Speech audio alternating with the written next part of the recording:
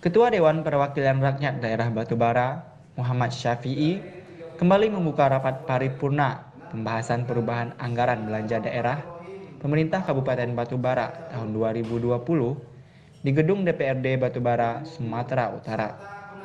Rapat paripurna diikuti oleh 30 orang anggota DPRD Batubara dari 35 orang anggota dewan, lima orang di antaranya berhalangan hadir dari 10 fraksi yang menyampaikan pandangan umum dan tanggapan, seluruhnya setuju untuk mengesahkan PAPBD 2020 yang diajukan oleh pemerintah Kabupaten Batubara dan langsung ditandatangani oleh Bupati dan Ketua DPRD Batubara.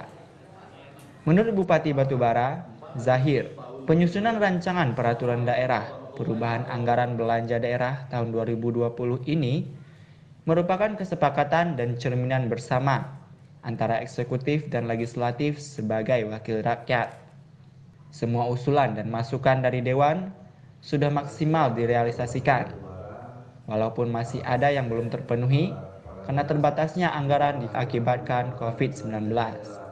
Namun, yang menyangkut kepentingan masyarakat banyak tetap menjadi skala prioritas. Penting artinya dalam penyusunan rancangan peraturan daerah perubahan anggaran pendapatan dan belanja daerah tahun anggaran 2020 hal ini merupakan bentuk kesepakatan dan cermin dari keinginan bersama antara pemerintah daerah dengan DPRD sebagai wakil rakyat yang duduk dalam struktur pemerintahan.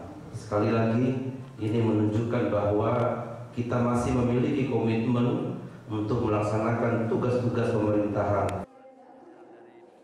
Dari Batubara, Sumatera Utara, Soleh Pelka, Tribrata TV.